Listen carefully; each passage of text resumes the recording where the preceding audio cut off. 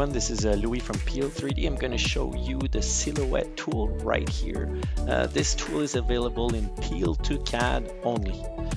So basically what the silhouette is, is the contour of uh, a part that's been projected onto a plane. So first of all, you need to have a plane available on your part. You can create one. Then you select it here in the dialog. It projects the contour of the part into that plane. So you can see it's creating like zone with uh, a contour on the outside and a few little areas on the inside. So basically we have a section here when you can deselect them if you don't want to have those small little contour.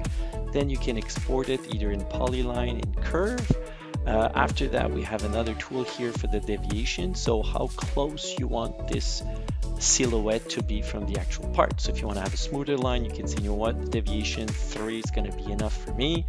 So by doing this, it's up updating this curve and it's kind of smoothing it. So it's going to be within 3 millimeter of the actual part. So when we're done, here's the results. You can see how much that line was smoothed out.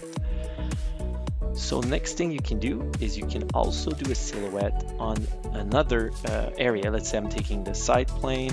It's going to create a projection where I can actually see more the side of the face there.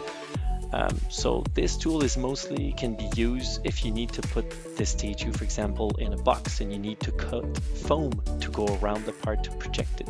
So those are the type of application for this tool. Thank you for watching.